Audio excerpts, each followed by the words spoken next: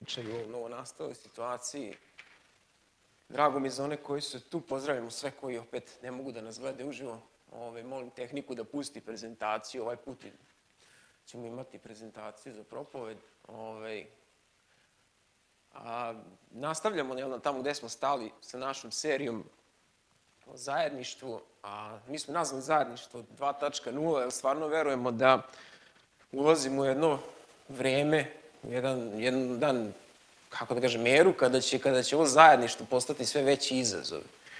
Razmišljao sam malo o tom i stvarno ne mislim da je kriza, što se tiče zajedništva, počela sa ovom epidemijom i sa koronom. Kad malo pogledam unazad, kriza zajedništva je počela u našoj civilizaciji e, mnogo ranije. I ne zato što, je, ovaj, što, smo, što smo prestali da komuniciramo, nego što smo možda na, pronašli neke načine komunikacije koji ne, nužno ne vode u zajedništvo ili neke zamene za, za zajedništvo koje stvaraju utisak da smo povezani, da smo sa drugim ljudima, a zapravo nismo. I ova korona je možda samo ono, ja do, dovela do možda vrhunca tu neku krizu zajedništva, ne samo u crkvi, nego uopšte u svetu, ali mislim da je razotkrila ovaj, možda koliko je naše zajedništvo stvarno i koliko je ono stvarno, ono što čitam u delima apostolskim, kad su ljudi ono oduševljeni Hristom hrlili da budu jedni s drugima kako bi ga slavila, kada ih je Bog pohodio, kada su se neverovatne stvari dešavale u njihovoj sredini i ovaj, kada, kada, kada, kada su svi ljudi sa svih strana hrlili da budu deo tog zajedništva, iako je to tad ono bilo i opasno po njihov život. A danas ćemo da vidimo kako se naše zajedništvo u crkvi odnosi prema tome koliko mi duhovno rastemo. Kakva je veza duhovnog rasta i zajedništva? Mi znamo da je učeništvo proces kroz koji mi postajemo više nalik Hristu. To je onaj proces gde jedni drugima pomažemo da, da, da, da, da učimo, da rastemo i da, da, da na kraju krajeva počinjemo se ponašamo više nalik Hristu. E sad, kako je to veze ima sa zajedništvom? To je ono što ćemo danas razmatrati. Ja sam se iznenadio kada sam proučavao ovu temu i mislim da sam tek zagrebao površinu, ali stvarno ta neka slika tog zajedništva i naše povezanosti u odnosu na duhovni rast u Svetom pismu, pogotovo u onome što je apostol Pavle pisao, je neverovatna. I ovo je samo ono, ovo su kao neki, onako, izvuko sam neke stvari koje su mene oduševile i, i onako presvedočile, pa čak malo i opomenule, ali tamo toga toliko tamo ima, puno ima. Ovaj, možda jedno pitanje koje možemo postaviti ovako na početku da nas potakne na razmišljanje jeste šta se moj duhovni rast tiče nekog drugog? Šta nekog briga da li ja rastem ili ne rastem? To je moja stvar između mene i Boga i ovaj, bilo bi verovatno dobro da ja duhovno rastem, ali ako ja ne rastem, moja stvar, je li tako? Da li, je to, da li možemo tako da kažem? To je jedno pitanje koje ćemo pokušati da damo odgovor danas. Jer govorimo o rastu s jedne strane i govorimo o zajedništvu s druge strane. E, Čitat ćemo jedan odlomak na koji, pogledao sam, propovedao sam iz istog ovog odlomka totalno drugačiju stvar na samom početku ove, ove korone. Propoved se zvala ona duhovna samoizolacija, ali sad isti odlomak, ali je malo drugačiji, drugačiji ovaj, akcenat. Pročitat ćemo ovo iz Božje reči. Znači, Efescima poznati odlomak četvrta glava od 11. do 16. stiha. Kaže, on je dao jedne za apostole, druge za proroke, jedne za evanđeliste, druge za pastire i učitelje, da pripreme svete za delo služenja za izgradnju Hristovog tela. Dok svi ne dođemo do jedinstva u veri i spoznanju Sina Božijeg, do savršenog čoveka, do pune mere Hristovog rasta. Tada više nećemo biti nejač kojom se poigravaju talasi i koju nosi svaki vetar učenja, koji ljudskom prevarom i lukavstvom vodi u zamku zablude, nego držeći se istine u ljubavi, u svemu ćemo izrasti u njega koji je glava u Hrista. On čini da celo telo povezano ujedinjeno svakim podupirućim zglobom raste i izgrađuje se u ljubavi s razmerno delotvornosti svakog pojedinog dela.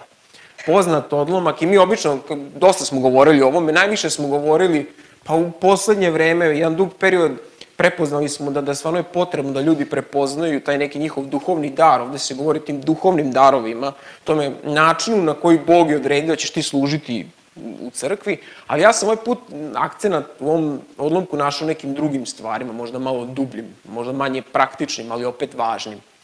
A, evo je kad, kad, kad čitam Boži reč, pogotovo kad čitam apostola Pavla, moram da razlažem njegove misli, zato što on misli komplikovano, misli, ima misa u misli, ono ode, vrati se, tako da ja volim ovako uvek sebi da malo to razvrstam i podelim. I hoću ovde da obratimo pažnju na jednu stvar. Mi obično ovo, ovo navodimo, ovaj odlomak kaže da, da, da dostignemo tog savršenog čoveka, punu meru Hristovog rasta. Mi govorimo o tome kao nekom dometu duhovnog razvoja čoveka, da čovek treba da ima, da stremi tom duhovnom cilju da postane kao Hrist, da bude Hristolik. I često govorimo o tome, citiramo ovaj odlomak da to potvrdimo. I to je tačno. Hrist je naš uzor, Hrist je onakav čovek kakvi mi svi treba da budemo, kako je, kako je Bog zamislio da čovek treba da bude po svemu. Međutim, ako pogledamo ovdje, ako još čitamo od početka ovu glavu, mi vidimo da od početka ove glave Pavle govori o, o, o zajedništvu, o ljudima, o grupi ljudi. On govori o izgradnji Hristovog tela. Za one koji ne znaju, ja verujem da svi vi ovde znate, Hristovo telo je, ono, je jedna alegorija, analogija kojom Bog u Svetom pismu, a Isus Hrist i kasnije apostoli koji su pisali poslanice, opisuju crkvu ljude koji, koji, koji, koji veruju Isusa Hrista da je njihov spasitelj i zajedništvo tih ljudi predstavlja njegovo telo danas na zemlji. On je rekao da smo mi njegovo telo, znači ono što je on kad je bio jedan čovek na zemlji, što je radio u svom telu, to mi svi zajedno treba sada da, bude, da odražavamo isto u ovom trenutku. I kada se govori o punoj meri Hristovog rasta, do savršenog čoveka, pa to je nešto što mi zajedno treba da dostignemo. To je nešto što mi kao crkva na zemlji treba zajedno da dostignemo i mi kao lokalna zajednica između ostalog smo pozvani da stignemo do savršenog čoveka, do pune mere Hristovog rasta. I ovde se govori o Hristovom telu. U ovom konkretnom situaciji se ne govori o, o nama pojedinačno, nego nama kao zajednici, kao nama, mi, smo, mi zajedno imamo jedan cilj da dostignemo tu punu meru Hristovog rasta. Ono što isto znamo, što se puno puta pominje u poslanicama, da ovo što Pavle piše u Rimljanima, kaže, ako smo mi mnogi jedno telo u Hristu, jednom dru, a jedan drugom udovi. Znači, svako od nas ima tu ulogu nekog dela tela. Ovde se govori o udovima, mi znamo da imamo udove, jel, ruke, noge, ali oni su pod udovima podrazumevali svaki deo tela, bilo koji deo tela, da ne ulazim u škakljive detalje, ali ovaj, mi smo svi delovi tog tela. Kada razmislimo o analogiji sa ljudskom telom, a znamo da sve to pismo koristi nešto najmo, najkonkretnije i najopopljivije da nam objasni neke najdublje duhovne stvari, ako smo mi jedno telo, svako od nas deo tog tela, Šta znači raz, ako se, svak, se mi pojedinačno razvijamo i rastemo i, a, i, i postajemo sve jači i, i sposobni za čega? Šta je jednoj ruci koja nema telo znači što je dobra, razvijena i moćna? Ove, ovaj, mi smo pozvani da rastemo kao pojedinci, kao hrišćani, da dosežemo tu zrelost u Hristu, ali uvek u kontekstu činjenice smo deo šireg tela crkve. Mi nemamo, naš rast nema smisao van činjenice da smo deo šireg tela vernika. Jednostavno ne, nema. Pogledajte sveto pismo, čitajte, nećete naći tako nešto, da mi treba da rastemo zbog samo, zbog sebe i svog nekog duhovnog rasta. Uvek je u kontekstu. Razmislite, ova moja ruka, ništa ne znači njoj rast ako nije deo tela. Sli, pogledajte ljudske organe, ja sam ovde dao ovaj sliku ovog kontejnera koji se koristi da kada treba ljudski organi zbog transplantacije se premeste s mesta na mesto, jel? Ono često ako ste gledali filmove ima ono helikopterom nose, ne znam što pre, znači zato što o, ljudski organ ne može van tela da preživi dugo. Ne može, može pod specijalnim uslovima za, da preživi jako kratko, zaleđen, ono, helikopterom brže bolje da se prenese, da se presadi u neko drugo telo, ili ljudski organ bilo koje vrste ne može da preživi van tela. Možda kože, može, znate se, ćelije kože, ono, da ne ulazimo u to, one mogu da se, da se čak umnožavaju bez tela, da bi se, ali to je najjednostavniji organ u ljudskom telu. Možda je najveći, ali najjedno, jedan od jednostavnijih. Možda sad lupam gluposti, možda uopšte nije tako. Ali činjenica je da ljudski organ ne može da preživi van tela, a, i ako može to malo što može da preživi, svakako ne može da raste van ljudskog tela. Tako da ni mi hrišćani ne možemo rasti van tela, van zajednice, šire zajednice vernih ljudi. Ako razmišljate o nečemu, ono kako ja rastem kao, kao, kao hrišćanin, no, čitam Bibliju, molim se svaki dan, ne znam šta, činim dobra dela, ok, gde je tu tvoje telo?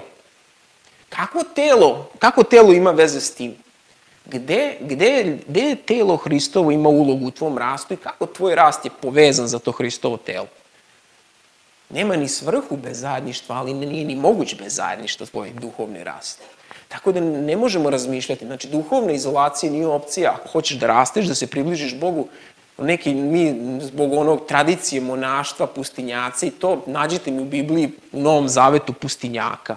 Pavle jedno vreme otišao u pustinju da bude s Bogom, da bi se opet vratio i znamo da je onda šta je radio, služio je ljudima. Na kraju kad je, kad je, kad je trebao da ode kod Boga, kaže, razmišljam da li da, da li da idem kod Boga, tamo će mi svakako biti bolje, ali možda bi trebao da ostanem zbog vas. Njegov ceo život je bio usmeren na telo Hristovo, na nevestu Hristovu, na nas. Znači, nema rasta bez zajedništva i nema rasta koji, cilj našeg duhovnog rasta bez zajedništva nema neke velike, nekog velikog smisla. I puna mera Hristovog rasta je cilj koji dostižemo zajedno. A pojedinačni duhovni rast je neodvojivo zajedničkog rasta. Neodvojiv je. I tu ima jako puno stvari, iz ovoga proizilaze neke jako zanimljive zaključici što ćemo upravo videti. Ove, ovaj, Znači, ako, ako ja ne mogu da rastem, ako ja ne mogu da rastem bez, bez ovaj, da svi oko mene rastu, ako ne možemo da rastemo zajedno, šta onda znači ako sam ja pojedinačno narastao? Jako zanimljivo. Ako sam ja jedini narastao, svi drugi ne rastu. Tu nešto nije u redu. A, ovo, ovo je sad se pomerilo, ovo zeleno, zato što nemamo istu omer ovaj, rezoluciju, ali ovaj, ovaj stih, ja sam, naj, verovatno reč na koju niko ne obraća pažnju, ovom stihu hoću da naglasim sada. Kaže, tada više nećemo biti nejač kojom se poigravaju talasi koji nosi svaki vetar učenja, Pa ovde priča, o tome se pojavili neki lažni učitelji koji su ljude koji nisu bili ukorenjeni dovoljno u Hristu, zaveli da veruju neke gluposti. Ali meni je zanimljivo što Pavle ovde kaže, tada više nećemo. Nećemo. Gledao sam na grčkom, jeste, znači nećemo, to je ovaj, On, šta Pavle ne kaže ovde? Pavle ne kaže tada više nećete, tamo vi neki. Ne kaže tada neki od vas neće. Ne kaže čak tada neki od nas neće. Nego kaže tada više nećemo biti nejač. Pavle sebe svrstava u nejač. Jer Pavle sebe ne, odvoja, ne odvaja od crkve. Ako u crkvi ima nejači, to je sva, nama, svima nama slabosti. Mi smo zajedno ta nejač, ako, ako ima nejači.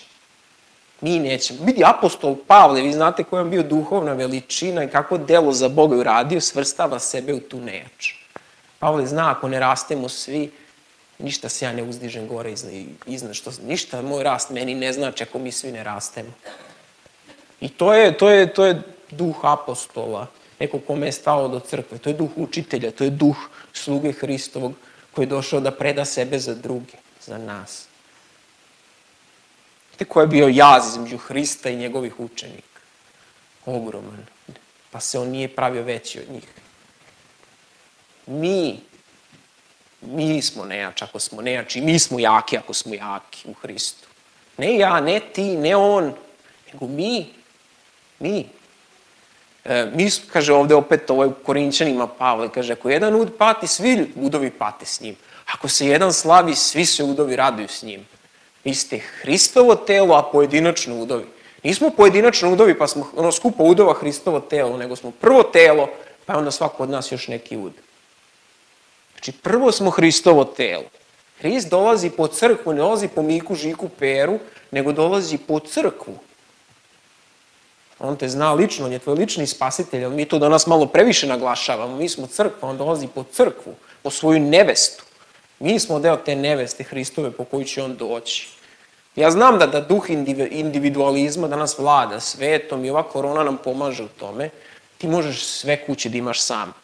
Evo, samo da nam dođe Amazon u Srbiju pa ćete videti kako to lepo ide. Ne moraš ni prodavca više da upoznaš svog, ne moraš nigde da ideš, sve ti je Možeš da, da krojiš svoj, šta ćeš da gledaš, šta ćeš da učiš, s kim ćeš da se čuješ, koga ćeš da blokiraš, koga nećeš da blokiraš, na kuću ti sve donesu. Izolacija gora nego ikad. I mi ćemo morati, mi sad ne moramo da se borimo protiv toga, ali ćemo morati jednog dana da se borimo. Da insistiramo na zajedništvu mnogo više, ne samo u crkvi. Ali mi smo prvo telo, onda udovi. Prvo telo, onda udovi. Da ne pričamo ono, jel, o, u psihologiji, taj takozvani gregarni motiv, da mi imamo potrebu samo da budemo s nekim. Bez da ulazimo u kvalitet tog nekog odnosa. Čovek ima potrebu da bude s nekim. Mi smo prvo Hristovo telo, onda pojedinačno udovi. Ili smo zajedno jaki, ili smo zajedno nejači, ili smo, ne znam, ova slika, jel, karikatura. Ogo, ovaj čovek ništa nije bolji što ima toliko ogromnu ruku. Možda je ta ruka najmoćnija na svetu, ali on ne može tu ruku da vuče za sobom, ne može da hoda, ne može ništa. Tako ni nama ništa ne vredi da imamo dva, tri duhovna diva u crkvi ako smo svi ne, ako se svi vučemo. Mi smo, ili smo zajedno nejači, ili smo zajedno jaki. Ako je neko jak, a ne podiže one oko sebe, puno se priča o... Ja nikad u životu nisam toliko čuo priče o vođama dok nisam postao hrišćanin. Sve vođe koje sam ja znao, ono su bili naši političari, što znači da sam ja vođama mislio sve najgore. Ovaj, kad sam došao među hrišćanjem, vođe, vođe, vođe, kakve vođe, ono šta, šta vođe. Ovaj, znate šta, kako se vođe, ko je dobar vođe? Onaj koji, koji je sličan ljudima koje vodi, koji su mu blizu. Koji su blizu njegovom nivou. Ako je vođa na vrhu, a ovi svi, i niko ne, nikog ne podiže gore, pa super, ali to nije crkva, to je možda dobar vođa, ali u crkvi mi treba da gradimo ljude oko sebe, da, oni, da ih podižemo na svoj nivo. Nije bitno koliko je neko visok, već koliko smo zajedno visoki. To treba da... I ako misliš da si duhovni žina, ako tebe su svi duhovni patuljci, onda pazi da ne padneš smerdevine, da se ne polomiš. Ako ti misliš da si nešto kao, a oko tebe su svi nešto kao, pazi da ne padneš. Jer činjenic, pašćeš dole i vidjet ćeš ko si i kakav si. Ili ćeš podizati ljude gore, ili nisi uopšte gore. Ja sam to doživeo u životu, to je jedna zabluda u koju sam upao, sam mislio sam nešto, Bog mi je jako pokazao kako nisam. Ja samo znam lepo da pričam i obrazovan sam. A to u crkvi ne bi trebalo da ima nikakav kredit. Jer moj život može da bude drugačiji. Neko ne zna da priča i nije obrazovan, ali je bliži Hristu. A, da li je duhovna amputacija opcija? To je čovjek, mislim, ovo je moderna prostetika, verovatno neki američki vojnik, oni imaju najbolju prostetiku. Ove, nije uvek tako veselo. Mi vidimo one ljude što leže na ulici, što prose i to. Ali da li je duhovna amputacija opcija? Da li ti imaš pravo da kažeš, ok, ovo telo nije crkva, ja ću sebi da, ja ću se sklonim odavde, da se, pošto ovo telo nije crkva, ja, ja sam duhovan, oni nisu duhovni i sad ću ja da se odvojim i da sam budem duhovan. Pa, ovaj, znate gde završavaju stvari koje se amputiraju? Evo, jedan kontejner za onaj biohazard, opasan otpad, to ste ako ste videli u bolnicama i to. Ono što se amputira se spaljuje, ono stavi se u kontejner dok ne ode u krematorijum da se spali. A, noga, kad se jednom otputira od tela, više ne može da bira šta će da radi. Noga ide da se spali ili ne znam, ide da se stavi naftalin pa da oni studenti vežbaju na njej. Ove, e, kad se jednom odsečeš, kraj. S druge strane, ako telo odluči, mi, mi znamo da u, Bibliji postoji uputstvo da se neki ljudi trebaju da ostrane od zajedništva, u nadi da će ih to uvesti u pokajanje, da bi mogli kasnije da se vrate u zajedništvo na način koji će biti koristan za crkvu i koji će biti, da stvarno mogu biti deo tela. Mi odstranjujemo stvari koje su zaražene. Mi odstranjujemo tumore iz tela. Ali nemojte da mislite da, da to je onako kao lako stvar uraditi. Ovde vidite, ovo je rehabilitacija nakon amputacije. Znači, taj čovjek da bi ponovo naučio da hoda bez nekog svog uda, to je jako teško. Čak i kad mi odlučimo da je potrebno nekog skloniti za dobro celog tela i za njegovo dobro da bi se eventualno jednog dana vratio, to nije lako i to nanosi štetu. Bog nam je dao svaki ud da nam koristi. Svaki deo u telu nečemu koristi. Još uvek ne znamo za čega služi slepo crevo, osim da se upali, ali ovaj, nečemu verovatno koristi. Svaki deo koristi i fali kada nedostaje. Neki fali na nekom bolite čak i kad ti nokat iščupaju, bolite i ne možeš ništa više tim prstom da radiš. Ne možemo da podsjeti, zato moramo čuvati zajedništvo i starati se za ti, čak i ti ljudi koji su teški, koji bi nekad ono boli, možda da nisu tu. Pitanje je da li smo radili sve da oni, da oni, da oni budu ti veliki džinovi kao i mi. A, idemo dalje, sad je ovaj sledeći stih govori, kaže, nego držeći se istine, govoreći istinu ljubavlju, svome ćemo uzrasti u njega koji je glava, u Hrista. A, istina i ljubav su možda ključni elementi dinamike koja, koja treba da vlada u crkve. A, ovde piše držeći se istine, ali zapravo, kad sam čitao malo kako drugi prevodi šta na grčkom znači, zapravo govori govoreći istinu. Samo što Grci imaju tu neku reč, mi imamo reč da kažemo lažeš, ali ne možemo da na isti način kažemo jednom reču govoriš istinu, tako da oni imaju tu reč neku koja znači, jedna reč koja znači govoriš istinu. Jel? Ovaj, tako da ovaj, ovde kaže držeći se istine u ljubavi izrašćemo u njega koji je glava u Hriste. I, I kako to zapravo treba da izgleda? A istina bez ljubavi povređuje i razdvaja. Znate, mi treba da se držimo istine, ali istina bez ljubavi može da povredi, može da razdvoji, može da podeli ljude i može biti i zloupotrebljena. Mi možemo istinu da go koristimo, da izgovorimo i da slučajno ili namerno povredimo ljude ili podelimo ljude. Neki to ljudi, neki ljudi pa ja samo istinu govorim, ali tačno zna da tom istinom povređuje i tačno zna da tom istinom unosi nemir među ljude. Znači, istina bez ljubavi je opasna stvar. Istina, no, to piše u Svetom pismu, slobo ubija. Istina ubija Božja reč, čak može da bude jako bolna i neprijatna ako se govori bez ljubavi. Ali ljubav bez istine ne postoji. Ljubav bez istine ne postoji. I zanimljivo je da su i ljubav i istina nešto što, što, što, što je Bog. Ja sam put istine i život, kaže Isus Hrist. Bog je ljubav, kaže apostol Jovan. Bog je istine i ljubav. Ne on je istinit, on voli, nego on je istina i ljubav. I kad te sve, dve stvari razdvajamo, ne možemo imati Boži duh sa nama, ne možemo imati duh i zajedništvo kako Isus Hrist hoće da ima među nama i ne možemo samim tim da rastemo u tom zajedništvu. A laž, kada ne govorim istinu, to rađa strah zbog kog mi napuštamo zajedništvo. Bilo da, da prikrivamo nešto što ne želimo drugi da znaju, da se branimo, ili čak da manipulišemo i da postižemo nešto što ne bi postigli kad bi ljudi znali istinu, to stvara strah, a mi znamo da ono strah i ljubav ne obitavaju na istom mestu. Savršena ljubav izgoni svaki strah, tako piše u Svetom pismu. Tamo gde ima laži, ima straha, što znači da nema ljubavi.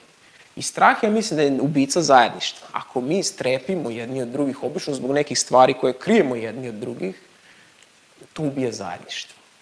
Ali, s druge strane, tolerancija nije ljubav. To je, to je da je jako popularna reč danas gde ti tolerišeš e, stvari ovaj, i, i to zoveš ljubavlju. Tolerišeš nečiji greh, tolerišeš nečiju laž, tolerišeš nečiju pogrešan stav ti ne možeš nekom promeniti stav, ali ne, ono, ne treba, ne treba da nužno da kažeš ti si super, sve je super sa tobom, ma da, to je odlično, nema problema, a u sebi misliš, Bože, sačuvaj, jel? Ja, ali to nije ljubav, nije ljubav to, neka, kako da kažem, prećutati na taj način. Mi smo pozvani da pretrpimo, ne da prećutimo. Znači da pretrpimo. Kaže, trpite nepravdu. Ono kad Jakov piše, vi se sudite se jedni s drugima, a bolje pretrpite nepravdu. A mi često prećutimo nepravdu i onda u sebi u srcu neki gorki plodovi se razvijaju i onda se uništava zajedništvo. Znate, ne može čovjek da raste ako ga niko ne izaziva na to. A duhovni rast znači da te neko prozove nekad za neke stvari koje nisu dobre u tvom životu, pa da, pa da se ti potrudiš, ne da pobegneš, nego da ostaneš tu i da, i da rasteš. Raste se kroz bol, nažalost. Znači, mišići rastu tako što se cepaju, pa se to, pa, pa rastaju, pa postaju veći. Vežbanje je cepanje mišića i to boli. Svako ko je vežbao zna da boli. Jednostavno, tako i sa duhovnim rastom. Obično se dešava kroz neku vrstu bola, ali svi znamo da, da kroz taj bol dolazi, do, mi dolazimo do nekog našeg cilja. Deca plaču ne, zato što rastu. Znate, u pubertetu kad ljudi krenu naglo da rastu, do njihovo telo ulazi u haos, imam puno problema i bola, često ako, ako deca brzo porastu, imaju one bolove u kostima, rast boli. I mi nekad, ovaj, naše zajedništvo je neophodno između ostalog zato što nekad boli na, na način na koji, na koji nas tera da rastemo. Jer istina u ljubavi boli, ali nas približava. Kad ja i ti imamo neki problem, ili kada ti primetiš da ja imam problem u životu koji ja ne želim da rešim ili mi je bolno, I ako me suočiš s tim i ako ja ne pobegnem od tebe i ti ne pobegneš od mene, nego ostanemo zajedno, pa možda i ne rešimo problem, ali odlučimo da ostanemo zajedno i onda, onda, onda, se, onda, onda naša, naš odnos jača. Jer mi, mi nekad mislimo da će ti, da će ti problemi, nesporazumi, da, da, da nas razdvoje. Ali je činjenica da kad mi njih prevaziđemo, mi postajemo mnogo jači. Naše zajedništvo postaje mnogo jače. Još sada govorimo o duhovnim stvarima. Isus Hrist je sa nama. Isus Hrist je sa nama u svemu tome. Znamo da se On smilovo i meni i tebi koji ne zaslužujemo milost, možemo i mi treba da pretpostavimo da ćemo se jedni drugima smilovati. A, jer istina u ljubav je kao melem. Melem kad se stavi na ranu, većina tih stvari peče čime staviš na ranu, ali, ali spreči upalu, izlečite, zaraste rana. Tako je sa svakim melemom. Svi mi nosimo rane, dolazimo u crkvu, nose izranjavljeni. Dolazimo u zajedništvo vernih ranjavi od nekih stvari koje smo, pa većina tih rana o kojima sada pričam se dešava onda kada nismo bili ni svesni da ih, da ih dobijamo. I mi dolazimo ovde i te rane utiču na nas. Znate, povrede menjaju način kako se naše telo kreće. Kad ja, na primer, Znate, ja, ja razmišljam svaki put kad treba da čučnem. Ko od vas razmišlja kad treba da čučnem? Vratno vi stariji razmišljaju, ali moja kolena su jako loša još od srednje škole i ja kad čučnem ja moram da razmišljam, da ne čučnem kako bi normalan čovek čučnuo, nego da koristim totalno druge mišiće da to uradim, kako ne bi kidao svoja kolena. I svi mi tako i u duhovnom smislu imamo neke povrede zbog kojih radimo stvari na čudan način, što često smeta drugim ljudima. I mi dolazimo u crkvu da bi jednostavno neko, da bi nam ljudi pomogli da se to isceli, da bi primili taj melem od Hrista. I kao što Bog može da isceli moja kolena, tako može da isceli te neke naše duševne rane koje čine da jedni drugima smetamo ili da jednostavno živimo na način koji je štetan za nas i za našu sredinu. Nema zajedništva bez istine i ljubavi. Zajedništvo nije biti na isto mesto u isto vreme, nego imati tu, stvarno biti otvoren, imati tu otvorenost da tvoj život drugi vide, da imaju prilike da kažu nešto u njega i obrnuto. I to je više od blizine. A bez, ra, bez zajedništva nema rasta. To se ta, tačno se vidi u ovom stihu, ajde da ga vratim. Kaže, držeći se istine u ljubavi, izrašćemo u njega koji je Hrist. Znači, držeći se istine u ljubavi, izrašćemo u njega. Istina u ljubavi raste Hrist. Jednostavno moramo da se držimo toga. Nećemo rasti bez toga. Ali ja izvinjam se što je ovako trapo. I neka pauza, razmišljajte to. I put kroz istolikost je opa. Kliknuo sam puno puta. put hristolikosti uvek vodi kroz zajedništvo. A, vratio sam do kraja ove lekcije, otišao. Yes.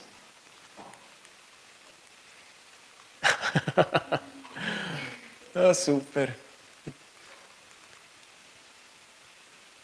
Sačekat ćemo. Previše sam se skriptovao. Tome. Tako da put ka hristolikosti vodi kroz, kroz odnose sa braćom i sestrama pred Bogom. Bitno je ovo pred Bogom naglasiti. Jednostavno znamo da je On sa nama u svemu tome. Nema rasta bez zajedništva. Ja ni, mogu sam pričati mnogim detaljima šta sve obuhvata tu dinamiku, ali moramo shvatiti jednu stvar. Ako, smo, ako želimo da rastemo, moramo da, da, da težimo ka zajedništvu. Možda naše zajedništvo nije dobro, možda mu treba pomoć, možda treba tek da ga izgradimo, ali ne možemo da se zaluđujemo da ćemo duhovno nešto da postignemo ako nismo u zajedništvu.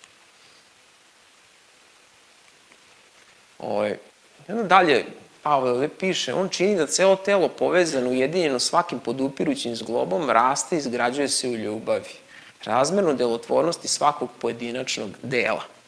Interesantno je da se ovde na kraju pominju zglobovi, jel? Većina ljudi koja kreće nešto da trenira ili da vežba ne razmišlja o zglobovima, razmišlja o, tako, o masi definiciji, o mišićima. Međutim, ono zbog čega često prestane da trenira je zato što ih bole zglobovi. Ove, ja ne znam, ono, pre, ne znam kada je to bilo za vreme ove izolacije, ne znam, Vera je baš pričala, ajde radimo kao 100 sklekova na dan, nek izazov, nešto to ludo bilo i ja ne znam šta mi bi, rekao, ajde. I dobro to krene, ono, boli naravno, gde to nisam uradio 10 sklekova na dan zadnjih šest meseci, ali ajde, uradiš ti sto, umireš, ono nije dobro mi, nije... Ali dođeš jednom trenutku do momenta, opa, ide to čoveče, znaš, sad, sad, sad ruke mogu, ima to sve, može, može, može, može, i u jednom trenutku nešto kvrc, u leđima, sve i dalje može, svaki mišić, ono već, mogu da radim do, do ujutru sklekove, ali taj jedan mali zglob ne može. Mišići jaki, sve super, zategnuto, ne mogu leđa da rade sklekovi. Šta ćemo sad? Šta mi vrede oni mišići ako zglobovi ne valjaju? Znate, ovaj, bez zglobova telo ne može da se kreće. Možda ima najbolje mišiće na svetu, ali ne može da se kreće. Može, ovaj, a bez kretanja i ti mišići počinju da atrofiraju. Ako ne možeš da se krećeš, ne možeš da vežbaš, mišići počinju, ako kogod da su bili razvijeni i dobri, počinju da atrofiraju. I najčešće povrede su povrede zglobova i ligamenata, ne mišići. Ja sećam kad sam bio mali, pao sam jednom s bicikla i pao sam na štangu od bicikla i posle nekog vremena ja primetim imam ovako crtu ovde, kako ide noga i bukvalno ovako ide opa, Šta je, odem kod lekara, kaže, puko ti je mišić. Pritom ja nisam otišao kod lekara zbog bola, nisam otišao zato što mi to nešto smeta, nego sam primetio, čekaj, imam ono crtu, jel, na nozi. I meni je puko mišić, ja nisam ni znao da mi je puko mišić. A mi toliko vremena uložimo u mišiće. Međutim, s kolenima imam problem, ono, propuštao sam utakmice u srednjoj školi zbog kolena, što me boli, idem na neki nešto mi stavljaju na noge, ono terapiju. Noge, ja imam dan danas jake noge, ja ne mogu da trčim. Imam jake noge, ne mogu da trčim, mogu da vozim bicikli i neke druge stvari zato što mi kolena ne valje. Zglobovi. Zglobovi me ograničavaju. I ove, mi obično mnogo, mnogo više brinemo o mišićima i brinemo o spoljašnjim izgledu. To je isto nešto što je danas, znaš, većina ljudi hoće da vežba, ne da bi nužno bio zdrav, to je super, to je nuspojava koja je korisna, ali da bi lepo izgleda, je li tako? A o zglobovima niko ne brine. Nik, ne brinemo mi o nekim drugim stvarima koje su unutrašnji organi toliko dobro, dok, dok ne dođe ono već da, da, da ti od toga zavisi život. Ali, ali zanimljivo je da i u hrišćanstvu ovaj, zajedništvo je kao zglobovi za telo. Bez, mi možemo, svako od nas može da bude ono načitan, pametan, duhovan, posvećen. Ako naše zajedništvo ne funkcioniše, džaba ta sva snaga će da, samo da splasne vremenom jer jednostavno bez zajedništva nema rasta, ali ono što je još opasnije, bez zajedništva e, mi atrofiramo kao mišići. Sve to što smo imali je neupotrebljeno i ako, ih, ako je nije upotrebljeno vremenom, samo počinje da splašnjava, da nestaje, da se rasipa, nas počinju da privlače neke druge stvari i sve to što smo, što smo izgradili postaje nestaje. Morat ćemo ponovo da ga gradimo puno razmišljamo o mišićima, malo o zglobovima. Svako od vas može da, da, da razmisli kako, šta treba da uradi da bi duhovno rastao. Ja mislim da, da građenje zajedništva s drugim vernikama neće biti na prvom mestu, ni na drugom, ni na trećem. Neće, ja znam da meni ne bi bilo. I dugo već primećujem da je to ono što, što, što je opasno i što mi fali i opet ne biram to da radim. Nego ako može malo više da čitam, malo više da se molim, možda da pogledam nešto duhovno, neku novu duhovnu knjigu da pročitam, a zajedništvo fali. Mislite da je, da je bitno što mi utorkom ovde imamo molitvu, da je, to, da, da je to sad, ne znam, neki veliki duhovni poduhvat. I mislim da je to što smo zajedno važniji od svega drugog. Molimo se mi kući svako, je li tako? Ali prava molitva utorkom uveče je relativno prazna. Ja se sećam kad je bilo po 30 ljudi, tad mislim, evo, pola crkva nije tu, pa nas je ovde skoro 30, tad je na molitvi, kad nas je bilo mnogo manje, bilo 30 ljudi. I to su uglavnom bili novi vernici. A, pritom ja ne, redko dolazim utorkom na molitvu. Ove, u zadnje vreme. Koliko mi pazimo na naše zajedništvo, ali koliko na sve, na sve ostale stvari, uključujući neke stvari koje su spoljašnje prirode. Što je dobra ova dekoracija ovde, no? Super, i sviđa mi se, stvarno je onako ukusno, ali je to dekoracije. La, te spoljašnje stvari brzo se primete i lako se nameštaju, ali ono, ono, ono što, je, što je suština, što, što, što nam omogućava da se krećemo, da, da, da radimo stvari, se teško, teško gradi i sporo. I ovaj, mislim, neću da super dekoracija, niko da me ne shvati pogrešno, Ali ovaj, mi jako puno gledamo na te neke mišiće, na, na, na spoljašnje stvari, a šta je sa zglobovima? Bez globova, to na što smo pozvani kao, kao telo Hristovo da uradimo, nećemo ni dorasti do toga da to radimo, a kamoli da mi nešto radimo. Mi se stalno trudimo da radimo i miši, ono, vidi, mišići su spremni, šta, šta, šta je problem? Pa problem je što jeste mišić spreman, ali ono, ne mogu, ne mogu, zglobne radi, šta ovako da radim? Mislim, jel? Smešno, ali je tako. Zglobovi bole i ne mogu da se pomere. Bez zajedništva ništa ne, ne možemo postići. I često Bog uopšte ne, mnogo više gleda na naše zajedništvo, na neke druge duhovne stvari koje mi radimo. Šta se Isus molio, poslednja njegova prvosveštenička molitva, šta se molio? Bože, samo nek imaju dobru teologiju. Ili ono, Bože, samo nek, nek, nek, nek znaju na pamet sveto pismo. Ne rekao da budu jedno kao što smo mi jedno. Da budu jedno kao što smo mi jedno. Mi, smo, u, mi se podeli smo se zbog teologije na, na crkve, crkvice, sekte, sektice, tako kako nas ovi nazivi. Jeste sekta kad se deliš, kraj priče. Zato su sve crkve danas sekte i pravoslavne i katoličke, prvi su se podelili, od njih smo to naučili. Ali ovaj, ali ovaj, a on se molio da budemo jedno. Zašto? Verovatno je znao, vidio ovo sad i rekao, eto, molim te Bože da budu jedno, kao što smo mi jedno. Oče. Ovaj, bez zdravih zglobova zajedništva, sav naš pojedinačni rast i trud za Boga malo znači. On to ne može da upotrebi. Bez zglobova zajedništva ništa. Tako da ono, ono zanimljivo je ovaj, proučav, neki ljudi koji jako ceni proučavajući Isusov rad sa ljudima i ovaj, način na koji on provodio vreme na početku svoje službe, najviše vremena provodio u zajedništvu s ljudima koje često nije ni bilo duh, nešto pretredno duhovno, ono, upadanje na svadbu ono, i te neke stvari. To stalno napominje što mi je zanimljivo. Ali ovaj, činjenica je da, da ako imaš vreme za Boga, koliko tog vremena planiraš da potrošiš drugim ljudima? Ja sam čuo da ljudi koji rade s mladima bilo bi dobro nekih 60 do 80%. Ako radiš s mladim ljudima, da to provedeš s njima, ovih 20% ono spremi nešto da im pričaš iz Biblije. Ove, ovaj, ja ponovim malo ove stvari. Duhovni rast je zajednički poduhvat. Znači, ako rasteš, znači da si u, u zajedništvu s drugim vernicima. Što znači da oni imaju neke veze s tim tvojim rastom, na neki način imaju uvid u to koliko ti rasteš, ovaj, razgovaraš s njima o tome, pitaš za savet, nešto. Negde su deo toga. I ovo je druga stvar koju treba zapamtiti. Zajedno smo jaki ili zajedno smo slabi. Treća opcija ne postoji. Ili smo nejač zajedno sa apostolom Pavlom i sa Mikom i sa, sa svim ostalima. Svi smo nejač. Ili smo, ili smo svi jaki zajedno sa apostolom Pavlom, Mikom, Bojanom, svim ovim ostalim. Nema, ono što kažu komunizam, nema više moje, tvoje, sad je sve to naše. U tom jeste tako je. Naše je ono dobro, naše je ono loše, to je naše, naše, naše je sramota, naše je blagoslov, naše je dika i ponos. Nema, nema jednostavno. Ne možemo se ići dalje u to cepkanje, ono. Opa. Bez istine nema ljubavi, to smo videli, i bez ljubavi zajedništva, bez zajedništva nema rasta. Znači, istina u ljubavi omogućuje zajedništvo iz kog proizilazi rast u Hristu. A bez zdravih zglobova zajedništva, sav naš pojedinačni rast i trud za Boga malo znači. To su te neke stvari koje stvarno želim da primite ka srcu.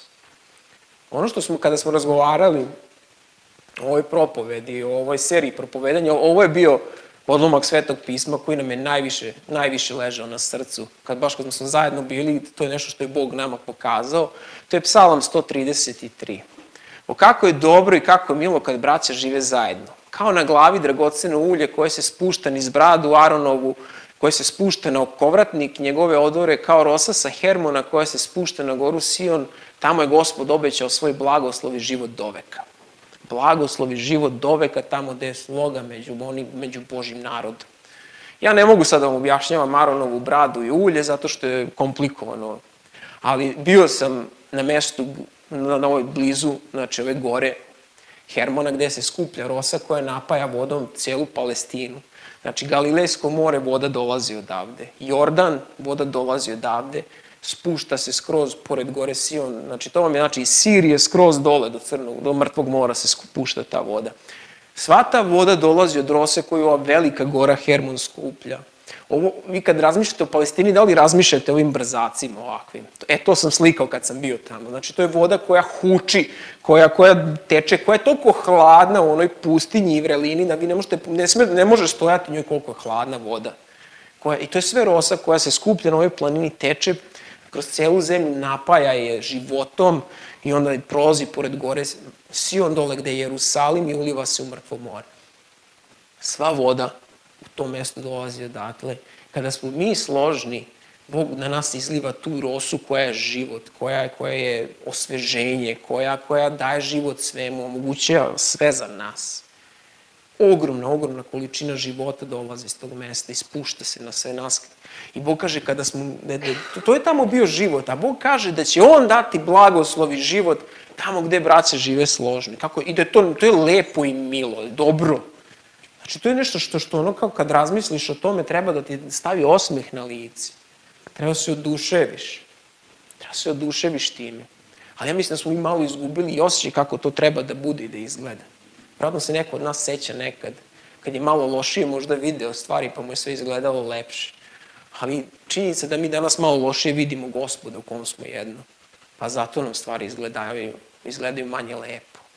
A, ogromna količina voda vode se spušta sa gore Hermana i napaja celu zemlju. Ali šta je danas tvoja kapa? Zagraditi zajedništvo je teško i dugotrajno. Mi smo svi imali, mi mislim, nisi imao zajedništvo, ako te niko nije povredio, ako te niko nije razočarao i ako ti nisi nikog povredio i razočarao i slagao i svašta. Mislim, to se ovde među nama dešava i dešavalo se i dešavaće se, ali to je prilika da rastemo, da se kajemo da, i da naše zajedništvo postaje jače. Svi smo mi ovde razočarani zbog nečeg, sve, svakom nešto nije potaman, svako ima ideju kako bi moglo bolje da bude. Neke stvari bi morale bolje da bude, neke stvari smo mi pogrešili, ne samo ono kao je zezno sam se, nego grehe ljudi. Neke stvari, smo, neke stvari radimo što smo sebični, Ali mi kao sve super, a kući misliš kako ovaj sebično. Reci, brate, to je bilo sebično od tebe. Ja mislim da to bilo, pre, možda grešim, ali meni se čini da to bilo sebično. Hajde da rastem, ali nebitno, to, to traje, traje, traje. I nije bitno, mi sad razmišljamo, sad ja moram da uradim, da pomerim gore i planine. Znate, neki ljudi će verom pomeriti planine, neki ljudi će to učiniti, ali to će redko da se desi jednom. Ono, ja sam čuo da se desilo jednom u Egiptu. Ove, ovaj, da se čovjek molio da, da pomeri planinu, da je krenuo zemljotres, pa su ga zamolili da se ne moli više. Ove, među koptima tamo. Ali isto, ima neka istorijska priča, možda i legenda. Ali pojenta je tome da neće mnogi od nas pomerati planine, iako mi to verom možemo. Ali, ali možeš nešto malo da pomeriš verom. Da kažeš jednu izvini. Da oprostiš nešto malo. Da odlučiš da, da, da budeš na usluzi drugima. Šta je ta kap što možeš da uradiš sad? Znači, mi obično Boga tražimo sad, razmišljamo, Bog će ti reći, ne znam, idi ono, promeni ceo svet. Pa hoće kad budeš veran u malom, doći ćeš do toga. Ali šta je to malo što ti možeš da uradiš? Zamislite sledećih nedelju dana, nas 30, svako uradi nešto malo da doprinese rastu i razvoju zajedništva u našoj crkvi. Ma jeste, to nije, za tebe vratno nije ništa. Zamisli 30 ljudi svaki dan, za mesec dana, za godinu dana, to mu je negde u glavi. Ja treba nešto da doprinesem ovom. Ja iskreno da vam kažem, dugo nisam o tome ni razmišljao. Ne razmišljam o tome, razmišljam o tome da treba više da čitam, da se molim. A šta mogu da uradim malo da doprinesem, da, da se mi zbližimo? Da ti zglobovi ojačaju. Da ti zglobovi ojačaju. Malu stvar. Čitam jednu knjigu, kaže, zove se Atomske navike. Mala promena svaki dan malu stvar menjaš, malo po malo, malo po malo. Kažu, ako, ako, ako, ako svaki dan, ono, 1% uložiš vremena da nešto promeniš, možeš da se poboljšaš za godinu dana 40% u nekoj oblasti. A ako ne ulažeš u to, isto toliko možeš da odeš niže. Ne mislite da će zajedništvo ove crkve, ako smatramo da nije dobro ili nešto, ili da će stajati u mestu. Ne, on će se sroza do, do, do, do nema dna dokle stvari mogu da se srozaju kada se zapuste, I nema kraja, stva, nema, nema, nema kraja tome koliko stvari mogu da budu dobre kada se uz Boži blagoslov grade. Ja mislim da mi možemo da krenemo da gradimo, da niko, nikog se ne očekuje sad ovde nešto veliko, a kad bi samo mislili o tome šta ja danas mogu da uradim za moje telo, za, za crku Hristovu. I Bog će te voditi u tome i da rasteš kroz to. Ali eto, ja stvarno izazivam se za tu molitvu koja je moja kap danas. Ali da nastavimo da se molimo u vremenu koje pravimo. Koja je moja kap danas? Da bi videli one velike, ono što kažem, neku vode, one, one, one bujicu što silazi s milosti i blagoslova sa gore Hermona. Ali da svako od nas da doda svoju kap. Bog već izliva na svakog od nas. Ajde da doda tu jednu kap da ta bujica poteče među nama, da naši zglobovi ojači, da te mišiće koje znam da imamo, znam da imamo mišiće, da oni mogu da rade ono što ih je Bog pozvao da radi. Ali ajde da ti zglobovi ojačaju. Ja verujem da nas Bog poziva na to. Da mi imamo mišiće, mi nismo slabi. Mi nismo slabi, niko od nas nije slab. Mi smo jaki u gospodu. Ajde da radimo na tim zglobovima, da možemo da dižemo stvari u njegovo ime. Ajde se pomolimo. Gospod Bože, hvala ti stvarno za tvoju milost i Bože, oprosti, gospode. Tvoj duh sveti me stvarno presvedočava da, da, da sam zapustio, gospode. Zapustio sam tvoje telo, gospode. Gledao sam na sebe, gospode, i na, na moju muku ili na moj blagoslov, a nisam gledao na, na telo Bože. I mislio sam da sam, da sam jak, nekad sam mislio da sam slab, da sam najgori, nekad da sam najbolji, gospode, ali nisam mislio na svoje telo, gospode. Te molim, ja se kajem zbog toga, oprosti mi, gospode, ako sam pogrešno sam verovao, gospode, i molim te stvarno da nas svima oprostiš, gospode. Mi smo telo i mi smo udovi jedni drugima, gospode, i mimo tog tela koje si nam dao, gospode, mi nemamo drugo telo. I deo smo tvog tela na celoj zemlji Vaseljanske crkve, gospode, i ti radiš kroz svoje telo, I, I ti, gospode, hoćeš da svaki zglob bude dobar, dobar i jak i da telo bude povezano, oče. Ja te molim sada, stvarno, oče, eto, mi se kajemo za ono zašto treba i tražimo da nam pokažeš tu jednu kap, gospode, koja dan, koju ćemo danas dati ili sutra, gospode, ali hoćemo da vidimo, mi verujemo u tu bujicu promene koja dolazi, oče. Te molim, poruši svaku prepreku, svaki zid među nama koji su mu digli, gospode. Oslobodi nas, gospode, od svake laži, gospode, od, oslobodi nas od svake prevare, gospode. Oslobodi nas, gospode. Daj nam ljubavi da volimo, gospode, čak i kad je teško. I kad je istina neprijatna, gospode.